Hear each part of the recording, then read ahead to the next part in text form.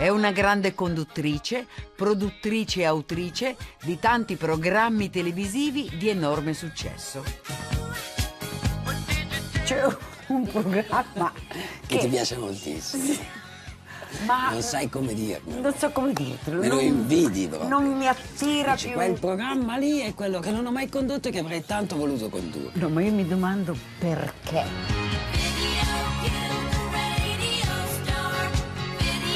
Nata in una famiglia solida e anche un po' severa, cresce a Pavia e rivela presto un temperamento ribelle che a fatica sopporta regole e imposizioni.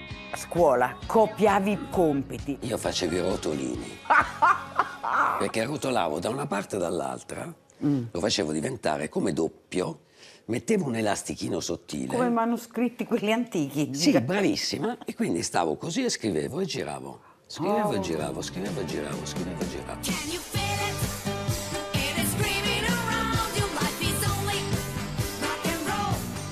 Da ragazza ama le due ruote, le piace correre, tanto da collezionare un numero impressionante di multe.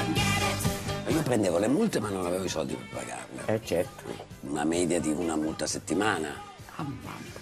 Arrivavano, quindi mi ero messa d'accordo col portiere di non consegnarmi nella posta. La testa a posto la mette dopo il diploma, sceglie giurisprudenza e si laurea con il massimo dei voti. Nell'89 l'incontro del destino, quello con Maurizio Costanzo. La porta a Roma, lontana dalla provincia e da un futuro che le andava molto molto stretto. Quando nasce il loro amore, lei ha 28 anni e lui 52. only rock and roll. E vorrei capire il corteggiamento come è stato. Fatto di parola. E anche di qualche fiorellino. Sì, questo, perché lui era bravissimo in questo. Che Maurizio fu bravo nell'essere perennemente presente. Ha iniziato a fare televisione superando un'enorme timidezza nei confronti delle telecamere, ma poi ha creato subito uno stile tutto suo. Autrice, produttrice e conduttrice delle sue trasmissioni, la De Filippi non è solo un volto della TV, ma un marchio e un nome riconosciuto da tutti. Semplicemente Maria.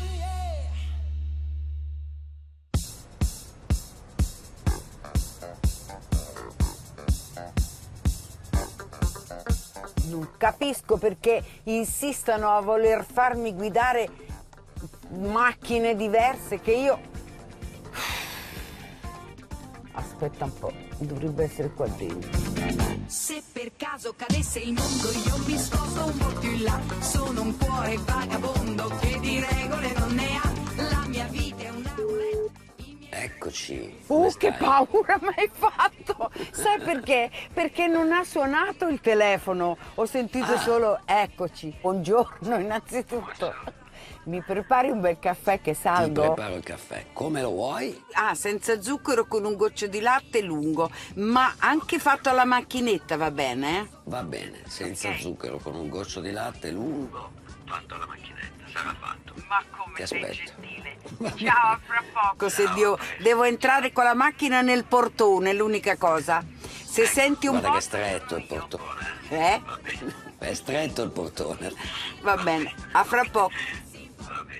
un altro più bello Lei è avvisata, io non vedo un tubo e mo devo andare avanti qua.